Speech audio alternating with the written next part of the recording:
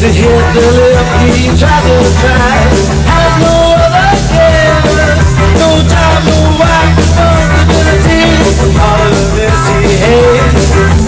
Passion drives him down the line. Life is careful man, and no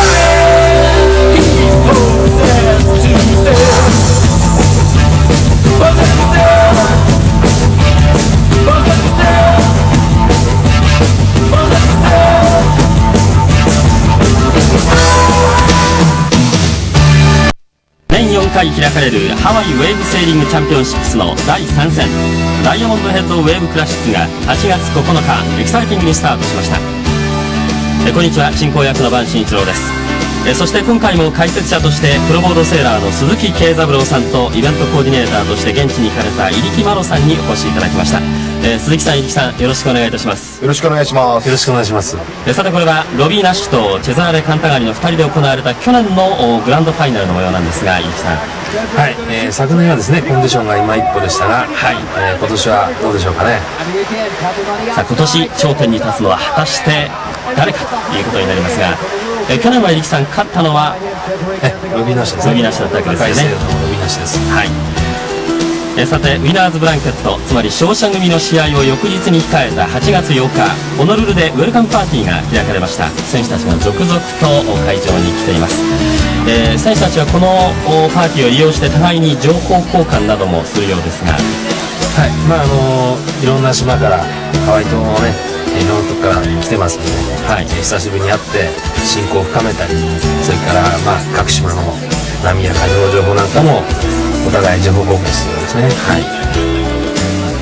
はい、これはですね、カワイ島から来たマウイ・オーエン選手、えー75ドルのエントリー費を払って、えー大会の出場権を確認しているところです。そしてこれはデビッド・ウートン選手、8月の7日に行われたアマチュアのヒートのですね、チャンピオンですね。えー普段はホノルルの病院に勤めている、えー麻酔科の技師だそうです。そしてご存知のスーパースター、スペインのワールドツアーから戻ってきたばかりのロビー・ナッシュ選手、奥様と一緒です。が、豊富なことを聞いていました。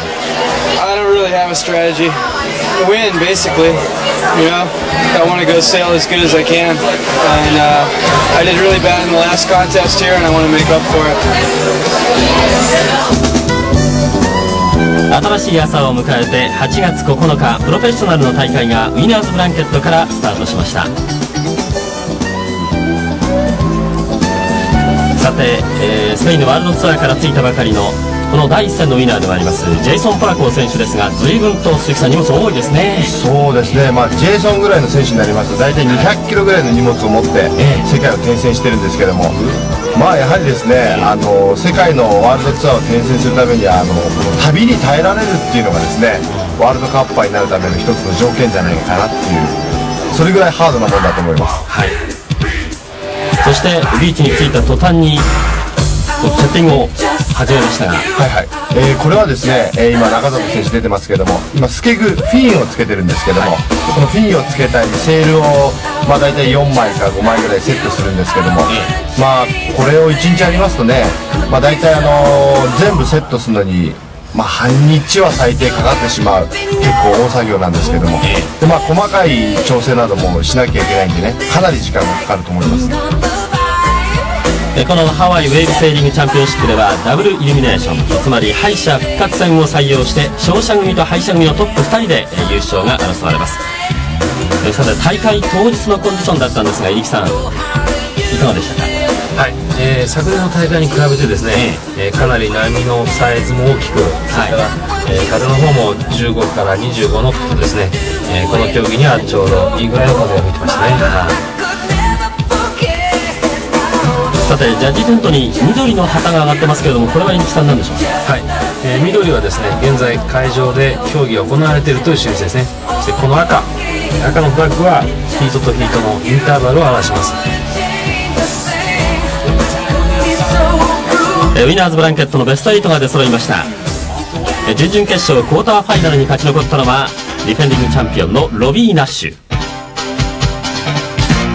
カウアイ島のマウイ・オーエン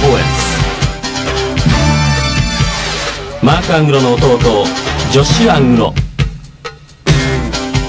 めきめき腕を上げてまいりましたジョシュ・ストーン。地元ワフトのキモ・ファーニ。若干19歳ニュージーランドのスコット・フェント。ン同じく19歳の新鋭です。ラス・レビンオーストラリアのデビッド・シー。ン以上8選手です。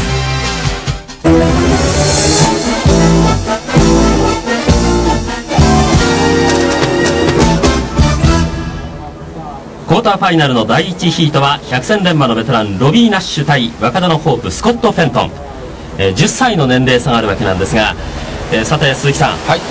このヒートの見どころというとどこになりますか？そうですね。やはりあのロビー・ラッシュ選手はですね、はい。ここダイヤモンドヘッドが、えーホームゲレンデなんで、ええ。ーかなり高いパフォーマンスをですね見せてくれると思います。まあロビーのぶっちぎりだと思いますけどね。あ素晴らしいですねごいですね。ねえ。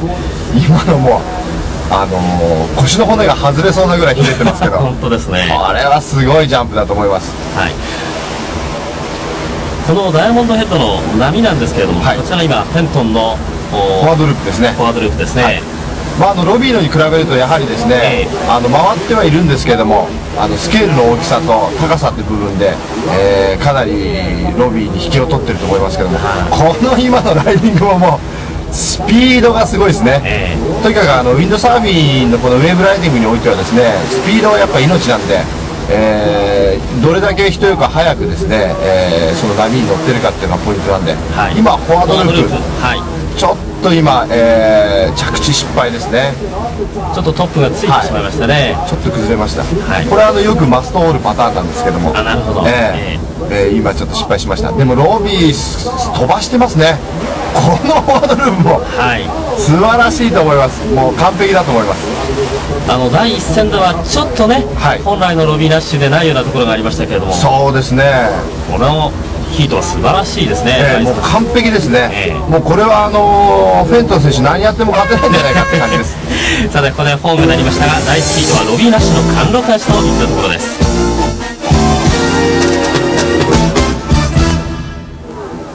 さて第2ヒートは地元オアフのジョッシュ・ストーン対オーストラリアのラス・レビンということなんですが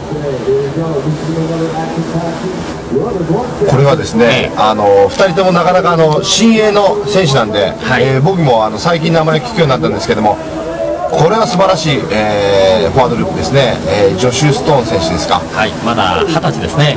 そうです。そうですか。二十歳ですか、い、やなんか若さゆえのあの無謀なフォワードループとも。そんな感じですか？そんな感じですけども、えーこれがラス・レビン選手ですか？19歳。えー僕もこの選手は初めてこの選手も初めて、えー名前を聞くんですけどもかなりあの小技を今、えー見せましたね。出してますえなんかなかなかあの19歳のくせに小技を出すっていうのはなんかちょっと嫌ですね。そうですね。えーはい。やっぱ若い時はこの女子トン選手みたいにもうこのブンブン回ってですね、えーもういね命知らずのとこを見せてほしいって感じですけども、あえーそのジョッシュ・ストーンこれは決まりましたよーねねこれは今完璧、えー見事に立ったと思います、えー今これウェーブライディングになってるんですけども、はい。ちょっとあのラス・レビン選手の方はあのウェーブ乗った時にあのスピードが今一つないですね。ですね。えーこうやって小技にちょっと走っちゃってるんでね、なんかいまいちスキーになれない選手です。こっちの方がストーンの方がいいと。えーどっちかというとこのストーン選手の方がこの若さあふれるですね、あのちょっと荒削りなんですけどもこれからなかなかあの伸びていく、こう素質が垣間見れますね。ところが勝ったのは地元のジョッシュ・ストーンではなくてラス・レビンだったんですねさて第3ヒートになりますが再び今度はオアフ対オーストラリアの激突ということで、えー地元のキモ・ファーリ。はい。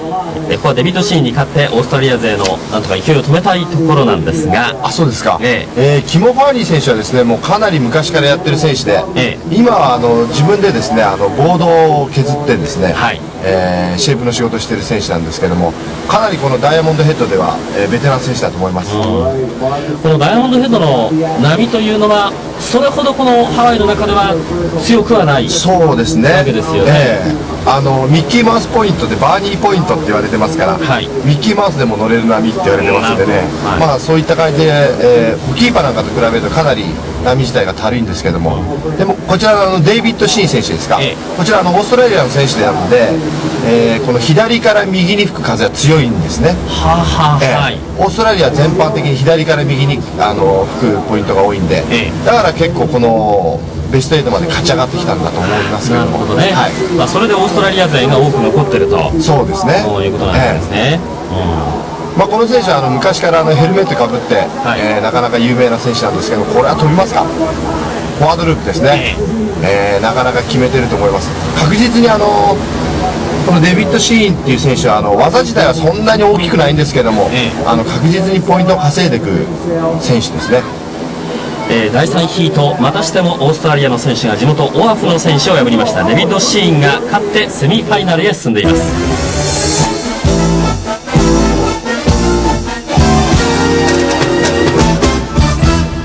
さて最後の第4ヒートということになりますがこれは人気選手同士の対決マウイ・オーエンスとそしてジョシュ・アングロです。まあ、あのこのマウイ・オーエンスっていう選手はあの隣のあのカウアイ島のええ。え出身の選手なんですけども、はい。えーかなりカウアイ島もこっちのタックってあの左から右に吹く風ええ。のコンディションなんで、はい。マウイ・オーエンス選手はこのコンディション強いと思います。なるほどね。でまあ、あの対戦しているこの女子の方はですね、ええ。おっと今素晴らしいはい。ええマウイ・オーエンスですね、えーなかなか素晴らしいフォワードループ。高さありますね。そうですね、これはかなり、えーハイスコアだと思います。ちょっとチンしましたけどもハイスコアだと思います。でこちらが、えーアングロですね、はい。えーアングロ兄弟の末っ子ですね、はい。あの僕が見た時はまだほんのこんな子供だったんですけどね、こんなに大きくなっちゃって気持ち悪いものがありますけども、はい。なかなか、あのーお兄ちゃんたちに負けずに最近頑張ってると思います。これもなかなかええこれもすごいですね。今バックループなんですけども、はい高さがありますね、はい、高さがあると思います。今のはあのワンハンドあワンフットジャンプですね。はい。これの後ですけどもこれは、えーバックループですね。ね。はい、かなり高さあると思います。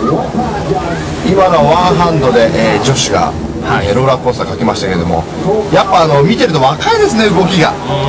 あの体のバネがですね、はい。全然違うって感じですけどもこのマオヨーン選手もあっと今チンしてしまいました。ということで、えーセミファイナル進出最後の4人目はアングロ兄弟の弟ジョシュ・アングロに決まりました。さて力さん、えーセミファイナルに移る前にジャッジの方法を教えていただきたいんですが。はい、えージャッジはですね、ジャッジスタンドで、えー会場の演技を見ます、はい、そしてマークシートを持ってます、えーマークシートは10点法になっていまして、えー各選手のベスト3ウェーブライディング、そしてベスト3ジャンプそれから、えーベスト3のオーバールインプレッション。これが各々のウェブライディングが50%ジャンプが30%そしてオーバール10%となってます。はい。それでは早速ベスト4セミファイナルをご覧いただきましょう。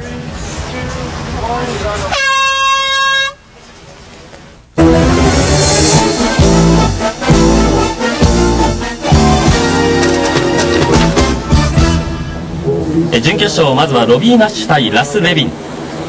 さて鈴木さん、はい。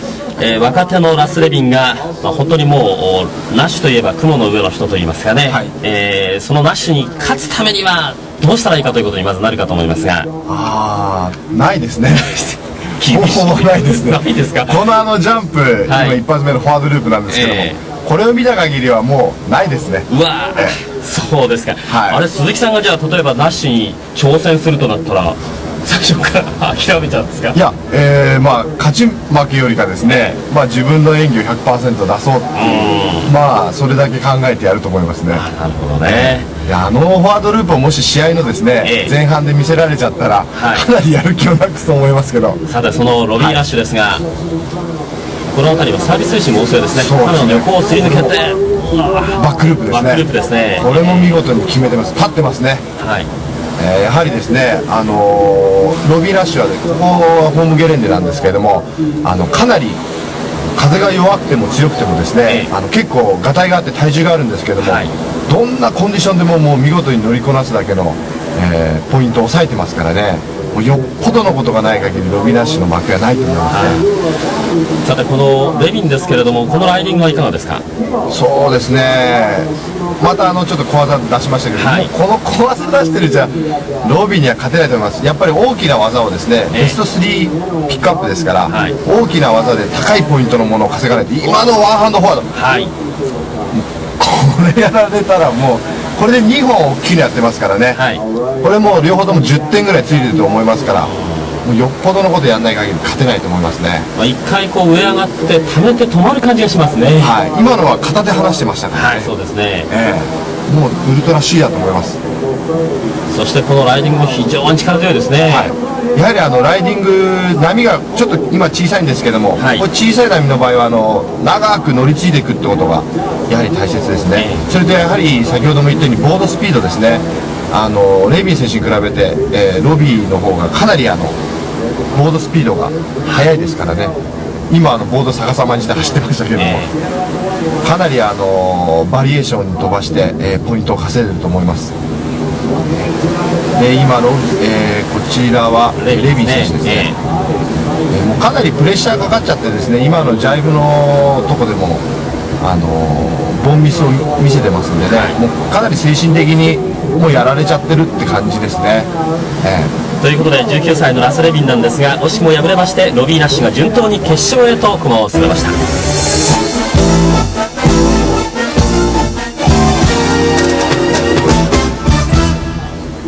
セミファイナルの第2ヒートはジョシュ・アングロ対デビッド・シー。ン、えーウィナーズのファイナルでロビー・ナッシュとぶつかるのは果たしてどちらかということになりますがヘルメットをかぶってる方が入木さんシーンですよね。はい、えーこちらがアングロ。はい。えーアングロ兄弟のお鈴木さんこれはえー何人目末っ子ですね。はい。え3人男がいてですね、ええ。その一番下だと思いますけど。も、はい。今デビッド・シーンちょっとフォワードループやりましたけども、ええ。ちょっと高さがないんで、えー今のところジョシュ・アングルもこれちょっとチンしてますけども、はいえーのが確実にポイントが高いと思います、えやはりですねあのデビッド・シーン選手これ見てもらうと分かると思うんですけど今、えー、話話しましたけれどもねあの技自体にそれほどキレのある選手じゃなくて確実にあの数こなしてってポイントを稼ぐっていう感じの選手なんでねーはい。あの女子アングロ選手はそれに対しましてあの大きな技を、ええー確実あのやっぱ荒削りにやっていく選手なんですけどもまあ、その辺でですね、えー確実にポイントを稼いでいくデビッド・シーンか荒削りの、えアングロかっていう感じですけども。はい。でもやはりあのー荒削りの方がベスト3ピックアップ制なんでね、ええ。決めた時大きいですからね。そうですね。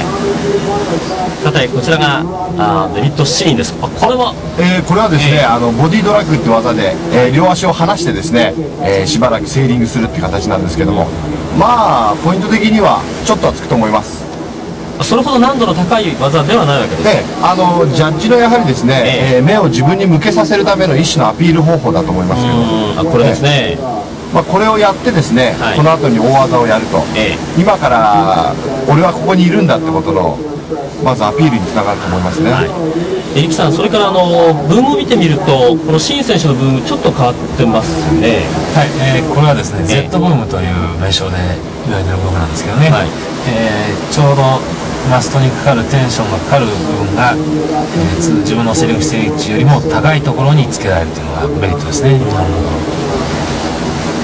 さて、鈴木さん、はい。盛んにあのループを見せているわけですが、ええええ。まああのキレがないという話がありましたけれども、これ、フォワードループですが、ね、やはりあのーパンチ力っていうか、ええ。あのーその体全体からですねのバネを使って飛ぶ感じがですねちょっと見受けられなくてちょっとなんか重そうなフォワードループで 僕のフォワードループみたいなですねそうですこのアングロ選手はどうですか、いや。かなりあのーいいと思いますよ、はい。このやはりあの頂点のですね、ええ。あの跳ね具合っていうか、その瞬発性っていうんですかね、ええ。その辺がかなり違うと思いますね。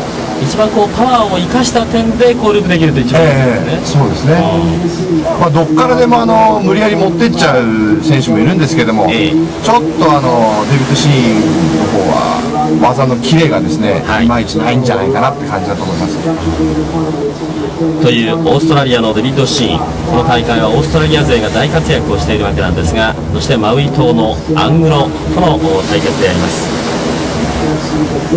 まあ技のキレ豪快さではアングロの方が勝っているという鈴木さんのお話ですがセミファイナルの第2ヒート女子アングロがデビッド・シーンを抑えて辛くも逃げ切りました。決勝への切符を手に入れたことになります。